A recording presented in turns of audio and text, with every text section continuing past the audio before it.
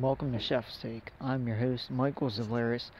Today I'll be bringing you NFL news and week 7 picks. Let's get started. The Los Angeles Rams trade cornerback Marcus Peters to the Baltimore Ravens in exchange for linebacker Kenny Young. Marcus Peters was a former first round pick for the Kansas City Chiefs and is a two time Pro Bowler and a one time first team All Pro and one time second team All Pro. Later on that evening, that same evening they trade Marcus Peters away, the Rams trade for superstar cornerback Jalen Ramsey. LA is sending two first round picks and a fourth round pick to the Jaguars. Tennessee Titans are benching Marcus Mariota, former 2015 first round pick, and are and are starting former starting quarterback Ryan Tannehill. After seven years in the league, quarterback Brock Osweiler has announced retirement. Brock Osweiler was backup to Peyton Manning and a starter for um, the Broncos for a little bit. Then signed a six-year deal worth $72 million with the Texans and got cut after one season. Um, the Patriots, Packers, 49ers, New Orleans Saints have reached out to the Denver Broncos about trading for wide receiver Emmanuel Sanders. The Denver Broncos have shown no interest in trading away the wide receiver. The Miami Dolphins have talked about trading away their starting running back Kenyan Drake. The Dolphins are currently in a tanking stage right now and full rebuild. So there's a good chance he'll be moved before the deadline. At following Thursday night's Broncos Chiefs game, superstar quarterback Patrick Mahomes has suffered a dislocated kneecap and will miss at least three weeks. The Atlanta Falcons are placing their former first round pick defensive end Vic Beasley on the trade block. Now let's get to our week 7 picks. Kansas City at Denver Broncos. Everybody across the board, me, Sal, Anthony, and Madden have picked Kansas City. The Los Angeles Rams at Atlanta Falcons. Everybody across the board has uh, the Fal- everybody across the board has LA. The Falcons are currently 1 and 5 and struggling. The Rams just acquired the best cornerback in the league and traded away Marcus Peters, so that way someone can guard Julio, since Aqib Talib is on the IR. Um, Miami, the winless Miami Dolphins at their divisional rival Buffalo Bills. Uh, me, Sal, Anthony have Buffalo. Madden has Miami. Jacksonville at Cincinnati. Um, Cincinnati struggling right now. Um, they have the worst running defense, the worst rushing defense in the league, and the Jacksonville Jaguars have Leonard Fournette. Everybody across the board has Jacksonville. Minnesota at Detroit. Minnesota just came off of a 38 to 20 victory against the Philadelphia Eagles.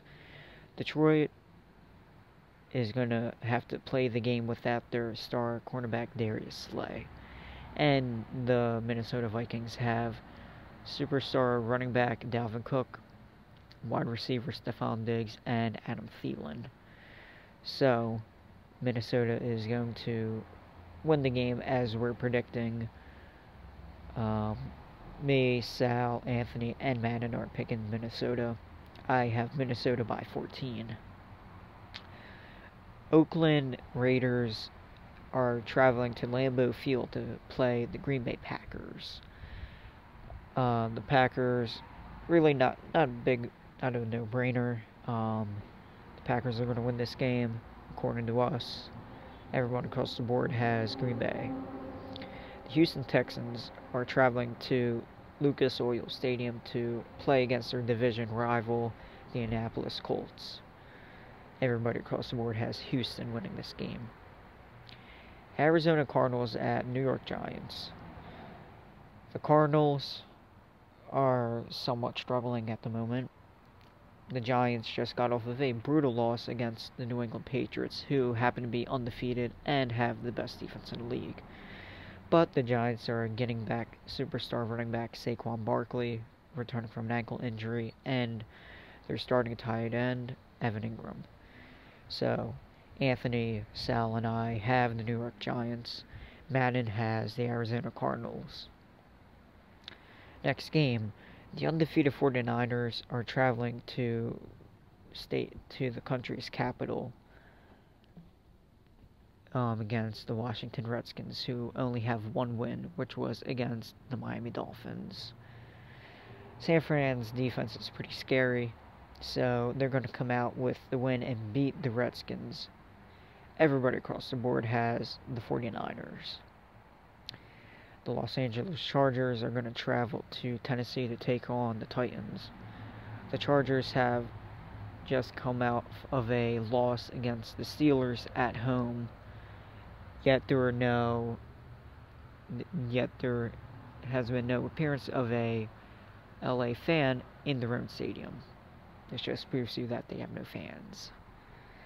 Um, the Titans have benched Mariota and are starting Ryan Tannehill. Either way, Sal, Anthony, and I are picking the Chargers, while Madden is picking the upset and going with the Titans. Next game, the New Orleans Saints are traveling to the Windy City to take on the Chicago Bears. Now, New Orleans are going to have to play without stud running back Alvin Kamara, who currently has an ankle injury. So, me, Sal, and Anthony are picking New Orleans, and Madden is going with the upset and picking Chicago. Next game, Baltimore's. The Ravens are going to have to travel to the to Washington to play the Seattle Seahawks. Um, Russell Wilson looking like an MVP right now. Um, 17 touchdowns with no picks, has the best quarterback rating in the league. But Baltimore does have an explosive offense.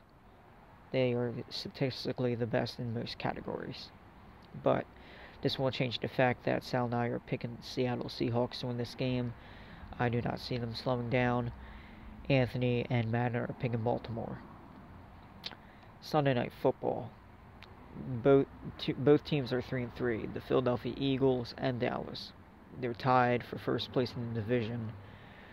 Um, the Eagles are going to have to play without DeSean Jackson, Nigel Bradham, former future Hall of Famer Jason Peters. Their starting cornerback Ronald Darby is questionable. Jalen Mills will suit up and play after being taken off of the uh, physically unable to perform list, or the pup, if you will. Dallas were midweek. The Cowboys were ready to prepare playing without Amari Cooper, their starting wide receiver, but he is now expected to play after having a leg injury. So he's going to play hurt my opinion, he's not going to have the biggest of impacts as he did against the Eagles last year. But I have the Eagles winning this game 31 to 20. Sal has the Eagles winning, Anthony has Dallas winning, and Madden has the Philadelphia Eagles winning this game. Now that Cooper is coming back, I think the game is going to be a little closer. Um, next game, last game of the week, Monday Night Football. New England Patriots are traveling to MetLife Stadium to play against their divisional rival, the New York Jets. The Patriots just came off of a pretty big victory against the Giants, and the Jets are coming off of their first win of the season against the Cowboys. Score, final score being 24 to 22. This will not change the fact that the Patriots are going to win this game. Sal Madden and I are picking the New England Patriots, who have the best defense in the league, and Anthony is picking the Jets. Those are our picks this week. I gave you the breaking news of the league. This is Michael Zalaris. Thank you for tuning in.